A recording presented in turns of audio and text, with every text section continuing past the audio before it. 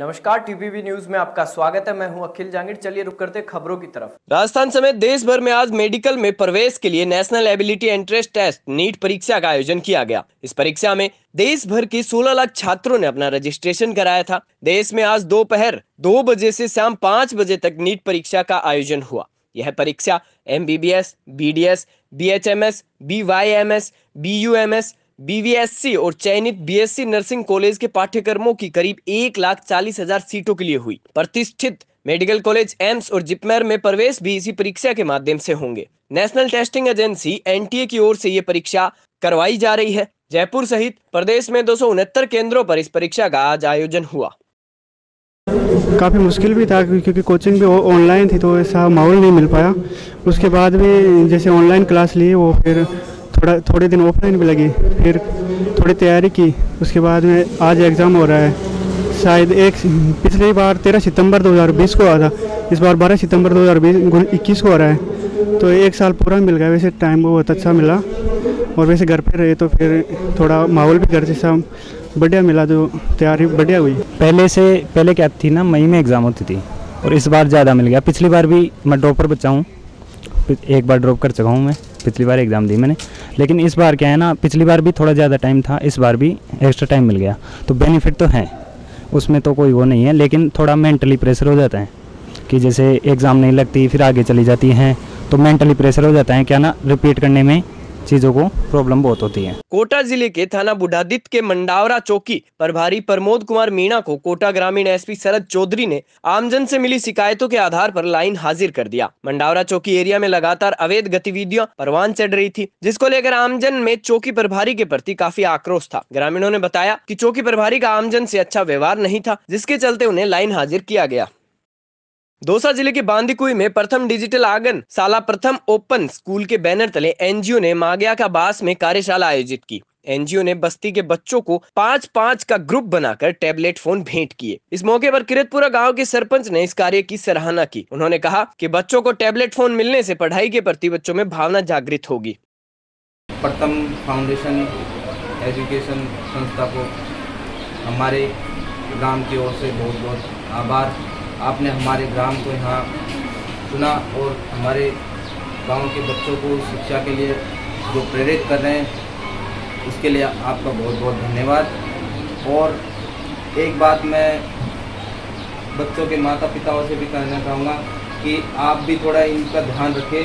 कहीं ये टैबलेट का गलत उपयोग ना ले लें, क्योंकि आजकल ज़्यादातर यही चीज़ें सोशल मीडिया पे बहुत ज़्यादा वायरल हो रही है तो इन चीज़ों का भी आप ध्यान रखें। श्री गंगानगर ज़िले के अनूपगढ़ उपखंड मुख्यालय पर किसानों की महापंचायत ने सिंचाई पानी को लेकर संयुक्त किसान मोर्चा के नेतृत्व में बैठक का आयोजन किया। किसानों ने सरकार के खिलाफ विरोध प्रदर्शन जताया। बैठक में आईजीएनपी के प्रथम चरण में सिंचाई पानी की मांग को लेकर रणनीति बनाई गई।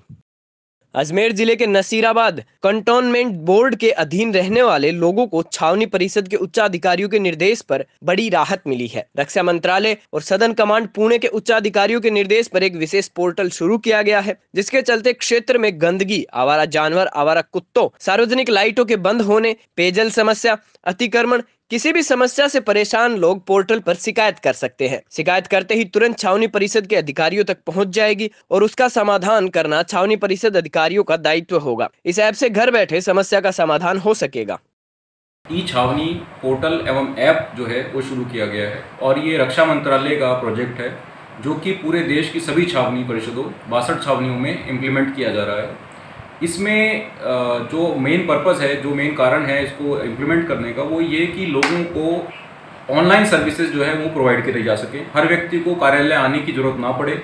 और मान लीजिए उसकी कोई शिकायत है, उसको कोई ट्रेड लाइसेंस चाहिए बर्थ एंड डेथ रजिस्ट्रेशन से रिलेटेड कुछ काम है, उसको ट्रेड लाइसेंस लेना है, उसको जो है सैनिटेशन से रिलेटेड किसी प्रॉब्लम के बारे में बताना है, शिकायत दर्ज करानी है तो वो सारी चीज़ें इस पोर्टल और ऐप पर हो जाएँ। और इससे जो सबसे बड़ा फ़ायदा रहेगा वो ये कि उसके पास एक रिकॉर्ड रहेगा कि क्या क्या मेरी शिकायत थी और क्या क्या उस पर काम किया गया।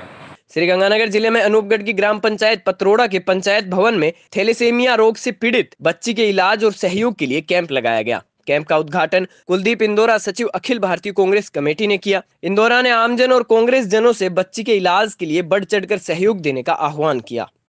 अजमेर ज़िले के नसीराबाद में राजस्थान राज्य विधिक सेवा प्राधिकरण के तत्वाधान में न्यायालय परिसर में राष्ट्रीय लोक अदालत का आयोजन किया गया, जिसमें पक्षकारों के मध्य आपसी समझाई से 107 मुकदमों का निस्तारण किया गया। लोक अदालत में बकाया वसूली टेलीफोन, बिजली, पानी के बिल से संबंधित प्रकरणों को भी रखा गया था। इस मौके पर para legal advocate Saurabh Sethi, Nazir Parvez Shekhawat सहित न्यायिक कर्मचारी और अधिवक्ता मौजूद रहे।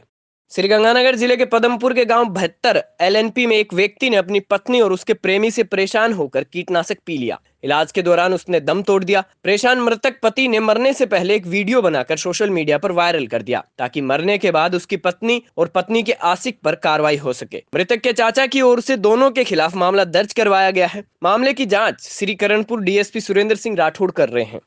मेरे और मेरा केस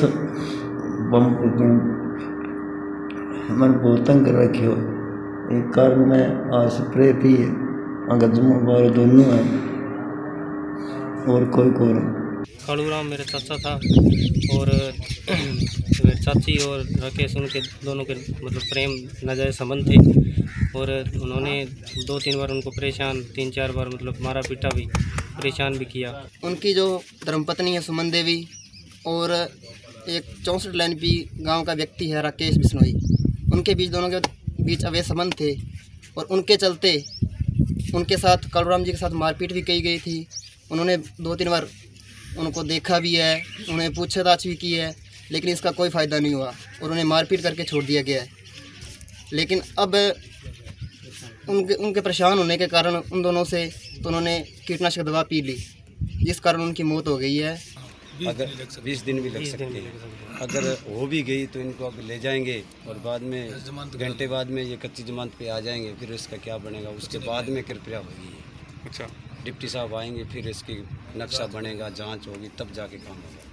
जयपुर के चोमू में अग्रवाल समाज और university of engineering and management Udaipuria मोड़ चोमू के संयुक्त तत्वाधान में चोमू शहर के अग्रवाल धर्मशाला में निशुल्क फिजियोथेरेपी कैंप का आयोजन किया गया। कैंप में चोमू क्षेत्र के आसपास के लोगों ने बढ़ चढ़कर हिस्सा लिया। यूईएम के डॉक्टर शांतनु शर्मा ने अपनी सेवाएँ दी। उन्होंने हर मरीज़ की बेहतर ढंग से जाँच की।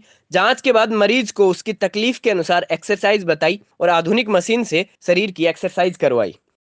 दौसा ज़िले के रामगढ़ पचवारा के श्री कल्याण पदयात्रा संघ के तत्वाधान में श्री सीताराम मंदिर से 35वीं ध्वजा पदयात्रा कल्याण महाराज डिग्गी के लिए रवाना हुई। श्री कल्याण पदयात्रा संघ अध्यक्ष सुमंत सिंह ने बताया कि हर वर्ष की भांति इस वर्ष भी श्री कल्याण महाराज डिग्गी के लिए श्री सीताराम मंदिर से ध्वजा पूजन के साथ पदयात्रा रवाना की गई। उन्होंने बताया कि श्री कल्याण डिग्गी महाराज की पदयात्रा का रात्रि विश्राम कोट खावदा के बालाजी स्मृति भवन में होगा।